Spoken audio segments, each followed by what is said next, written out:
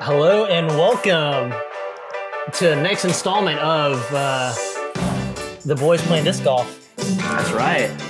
I'm excited. We got Daniel on this card. It's gonna be a good round. Nathan, you're on this card, repping that truth. Uh huh. And look at you making putts in the wood. I'm pretty excited for this. I'm very excited. We decided to step up our uh, qual- our production quality. Let's read some of your stats here, Nathan. Spirit. Animal Pippin, One Sponsored by- C1 putt. That's sponsored amazing. by El Rey. Oh. And I'm excited. Spirit Animal Panda. Max 180 feet. Oh, That's gonna be a tough one for you. And Dan Oh here, man, he is the Liger. he does care too much. Anheuser reference. Okay, so hole one, par three, 300 feet, dead straight shot. You know, this is a great starting hole. Really, just a backhand mid range is the play. Straight up the gut. Really good tester starting hole. Mm-hmm. I mean, you really want to just get this first hole to start off. Yeah, So it's a good starting hole. Huge confidence booster. And Daniel goes really straight. Drifts a little to the right. I mean, in him, inside, That's- giving a putt. That's good. Probably like what, 30 feet? Yeah. 30 Right in the circle.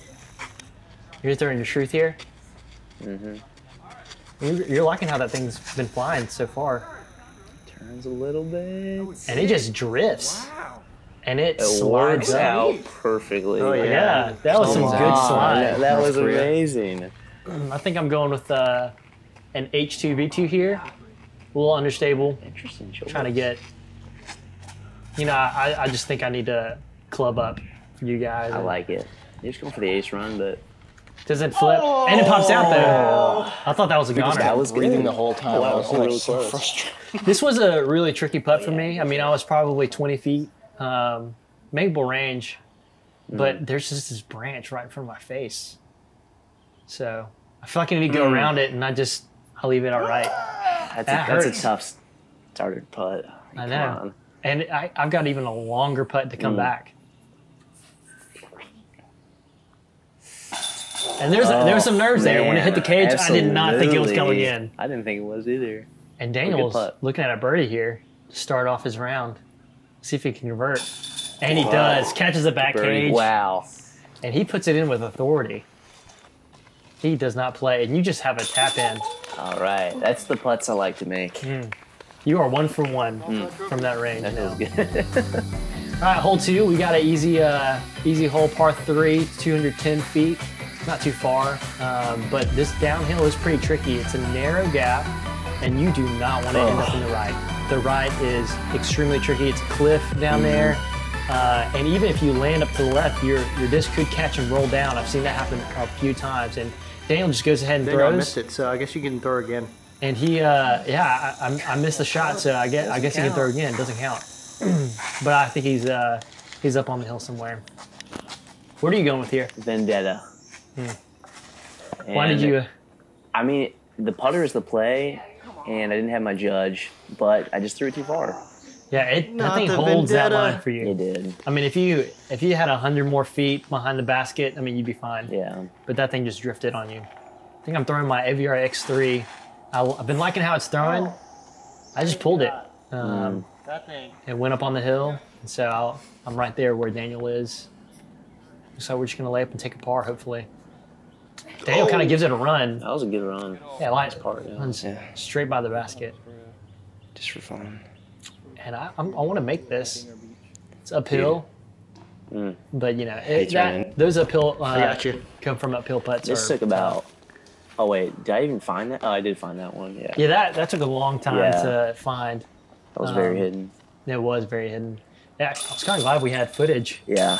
Um, green disc and some green foliage, not the best. Not best. a good combo. But I mean, you were already 50 feet past the basket Mm-hmm.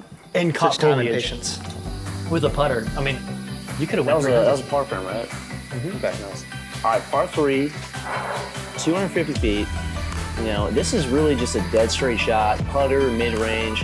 whatever you're comfortable with, but you do not want to go right. There's a huge cliff, and Mm-hmm. if you're down there, is game over. Daniel plays a safe shot. Um, the left is okay. I mean, Yeah, it's not bad over there. You want to get around uh, that initial shrubbery, uh, and I think he's he's fine. He'll be putting. And you you hammer this throw. This looks like an ace run, That is beautiful. and it just lands right by the basket. You are dialed in with I that am- trick. Park I'm job. starting real well. But I do not finish that way.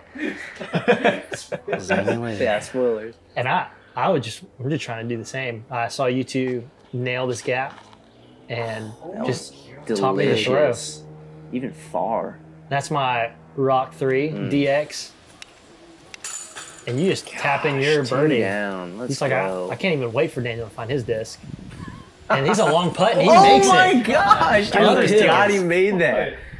That was insane. Yeah, let's run that back. What a putt. I mean, that was probably 40 feet. Yeah, that was circle. And he two. runs it down just the way he Check would, his like a ID. Liger. Tiger style. then. And I think I have about 25 feet for this putt. Just want to kind of match Wow. what Daniel did. Dude, Yes. great birdie. That's a that's a good putt. The band. The, And that's a star frame. Star frame. All right. $25 awesome. to uh, Grace to you. to burn. no, they have enough money. To Alex and Kelly's uh, home yes, fund. this is to Alex. and Yeah. All right, hole four. It's a par four. It's a long one. Uh, this is some old footage, uh, but it looks pretty much the same. You're going dead straight, uh, and then it takes a huge turn to the left. You want to throw an overstable disc to let it skip up around this uh, sewer, sewer hole. And the hole is actually up to the left and not where it is right now, probably 50 or so feet up the hill. Yeah. Now, I've seen some good drives and I've seen some bad drives. You definitely want to hit this initial gap. And it looks like Daniel goes super high Oh and he just goes straight through. almost killed somebody Yeah. Looks like you're going with your escape. and just just a shank. Hey, it's a, it's a tough shot. You have, I mean, that disc is really flippy. Yeah. You're trying to give it uh, less power, and that's usually what happens. Oh, that was. I am not sure what I'm throwing here. I think I threw a, a gator just to kind of get up there and let it stable up. You just need to pitch up to get to the landing zone. That's all you can do from there. Really, it's really Daniel. nothing to do. Daniel's baried, and Does he he get out? does an amazing That's out. a great out. A little pinching on the left side. Definitely did not want to do that, but he had to Mm-hmm. throw that power to get out of there. And he goes with a Thunderbird here, and he pulls it. Mm, I think This that's the tough, tough. part. That's the tough part about this hole is it's just narrow the entire way. mm, really is. I mean, 511 feet is not a long par four by no yeah, means, this is super tight. but you just want to you want to stay in the fairway. Uh, I mean, my shot was in the fairway and I barely got there, and you're pitching up for That's, your that's Dan. and Daniel's pitching up for his fourth shot. I'm pretty sure, Yeah. and so are you. And you guys get by the basket, and that's not an easy shot. I know. These are all tough shots. Yeah. Oh wow, that was a floppy. Yeah, I land behind that huge shrubbery, and I just had Man. no. That was my only look I've had at birdie in a while, and Tough hole. unlucky. All right. Hole five, par three, 246 feet. This is a tough one. I mean, you, you have to hit the gap, obviously, but then you have to have it get up the hill to the left. And that's really hard to get way up that hill, especially with all these guardian trees. So, you know, popular play is just to have an overstable disc, kind of do the work for you. But even then, it's not going to get all the way up there. and you throw what is this? I think that was an A1. A one Just- and skied it. Yeah. Very Uh, bad. I mean, you really do want to get some height on it. Like Daniel's throw is okay, but it's not going to get up there. It's not going to get there, yeah. You need some close. height on your disc to get up there. It's not the best hole design. No, I mean, it's not. there's no way you're going to park this hole. It did. Not at all. You're either going to go long, Good uh, shot. and I am just lucky that that thing He's looking to make out. good on this birdie. And what is this? I'm looking to. You're giving us your game plan here. Ah, I think so. I wonder what I'm saying.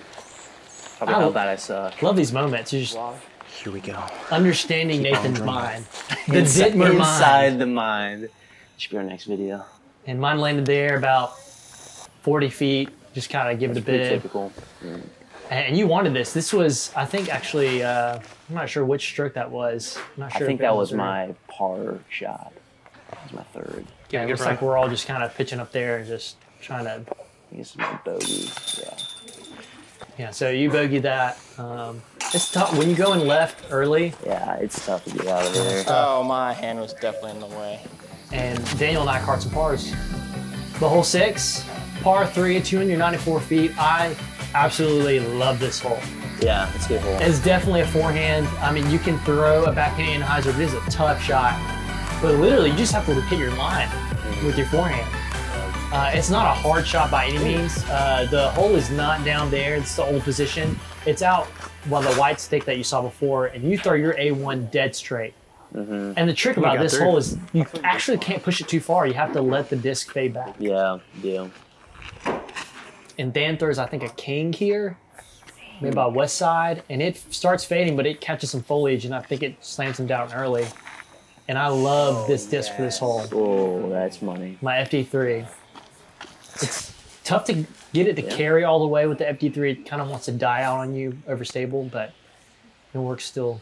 Works good. Daniel gives us a bid. He goes Oh. long. That's gonna be a tester.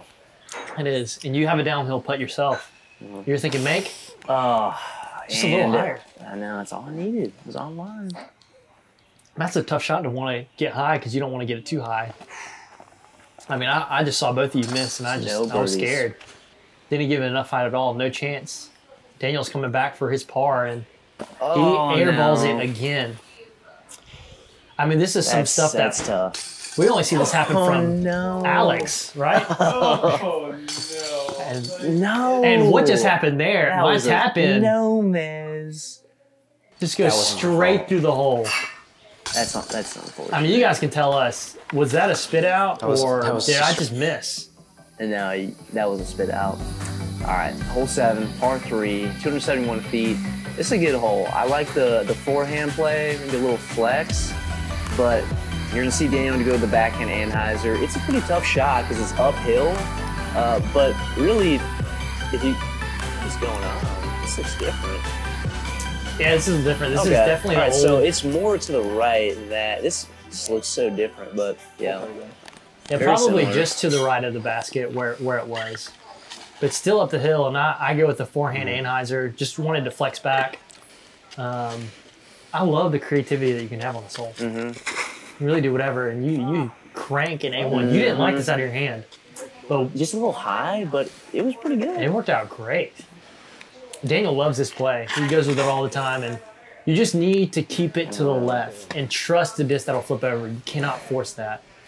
I end up well short. I mean, I'm going half go maybe, but it's not going to make it. It's really interesting to see um, all these uh, changes to that they made Yeah. these scores. I, Yeah. I do like how the, the basket is now though on this hole. Looks It good. definitely made more sense. I mean that the other position would would have lended more of itself to a backhand play, but this Yeah. Mm-hmm. kind of opens it up to some creativity. Is your birdie putt? It is. This will get you make, good. You Gotta make. gotta make it. It- man. It, wanted to come out. Man, those flops it on the stuck. basket. And Daniel, I mean, after that meltdown on the last hole, Yeah. comes back with a really confident putt. It's good. Uh, he's only one over. Yeah, yeah. He's still in it. Cards his par after going uh, in. We got hole eight. We got um, a par three, a really straight shot. You got a Mando on your right. You just got to tunnel it straight through. I mean, that gap is really small. And you show us how small that gap is by piercing it with that Vendetta. The only thing I can use to pierce it. Daniel goes with a comment, and he goes Oh, no. early, which is a common mistake. I mean, you don't want to push it right. And I'm hoping just to hit the gap. And he gets to the initial You, gap, and it looks good. Pierced it. Wow. No big deal. That is so parked. Five away. Five feet away. Five feet away. Not away. even. And Daniel, I mean, you see how pinched it is back Yeah. there. You just have to pitch out. Basically a guaranteed bogey. Guaranteed bogey, yep. He gives us a go, Good run, but and you just landed right short of the creek. Mhm. It's not bad at not a all. bad place. A little. Yeah. Good Good save. run. Good save from Ryan, I mean. Daniel carts his bogey, and you're looking to get your par, and hopefully I don't miss this for the birdie. And that'll put us tied. Yeah. It is a close race Wow. going in. to hole number nine. Hole nine. All right, we're in and out the back nine, par three, 241 feet. Again, just a dead straight shot. Just a little fade at the end is fine. Really just don't want to be right. If you're left, you still have some looks. But if you're right, guarantee bogey. The hole is probably about, what do you say, 15 feet over? Yeah, 15 feet over Yeah. to the left. It's a little more woods now, but pretty similar shot to this. You just want to put some. I'm just trying to put something out there and let it fade back. Mm-hmm. So I grabbed my AVR X3 and hoping to do that. Oh, And it just drifts on like- I'm, I'm shocked at that. That's so weird. Now, you could you could have seen it. you saw that little blue band off to the left, and I Mhm. wanted to fade back, but it didn't. You get your truth, and you're just ready to park this thing, aren't you? Ready? Come on. And it is on a frozen rope to the basket. Pretty good. It's great.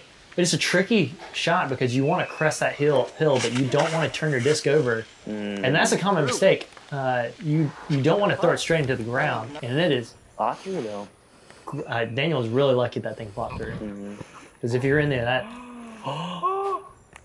and he Run. almost made a birdie out of that. That's crazy. That would have been insane. You're looking at your birdie Come on. Oh, airball it. that's not good. You can't have some putting woes on this. No. It looks like we're all just gonna try to clean up our pars. Hopefully. You make good on your par. I make good on mine, but Daniel is actually still away. And we'll see his putt in a second just to see if he can save his par after that great run. Mm. Comes up Man. short.